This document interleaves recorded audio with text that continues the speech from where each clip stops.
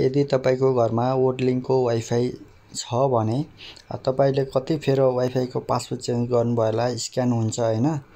स्क्यानको system भएको हुनाले तपाईँहरूले पासवर्ड नदिए पनि अरूको मोबाइल मागेर स्क्यान गर्छन्। त्यस्तो खण्डमा तपाईँहरूले डाइरेक्ट त्यो डिभाइसलाई ब्ल्याक लिस्टमा हालेर त्यो राउटरमा कहिले वाइफाई नचल्ने बनाउन सक्नुहुन्छ। त्यसको लागि यो भिडियोलाई स्किप नगरेर लास्टसम्म हेर्नुहोला र हामीसँग जोडिनको लागि युट्युबलाई सब्सक्राइब गरेर हामीसँग जोडिनु होला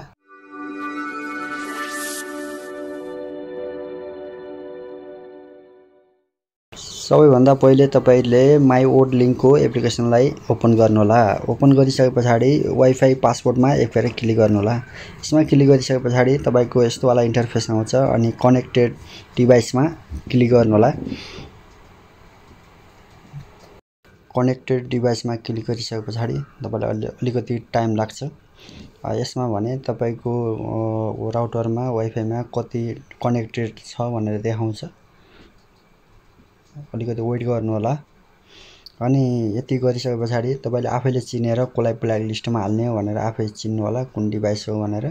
अनि यो पारिको थ्री डटमा कुनामा क्लिक गरेर कपी म्याक एड्रेसमा क्लिक गर्नु होला अनि त्यस पछाडि डिभाइस फिल्टरिङमा क्लिक गरेर अनि वाइट लिस्ट अनि ब्ल्याक लिस्ट भन्ने छ अनि त्यो ब्ल्याकमा क्लिक गरेर अनि यो प्लसको आइकनमा क्लिक गर्नु होला अनि त्यहाँ गरिसके पछाडि यो तपाईँको एड युजर भनेको छ मतलब कुन आइडीलाई ब्ल्याक लिस्टमा हाल्ने हो?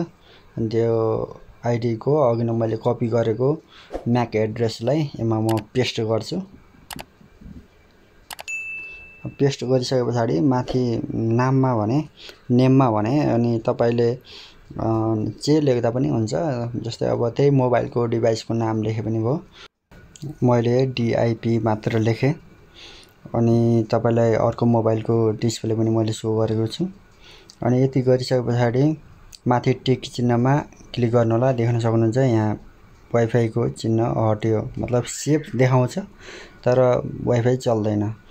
स्क्यान गर्दा पनि स्क्यान हुँदैन। तपाईँले यति गर्नुभयो भने। हरूले पनि यस्तै गरेर ब्ल्याक लिस्टमा हाल्न सक्नुहुन्छ। आजको भिडियो यति नै भयो। हस्त धन्यवाद।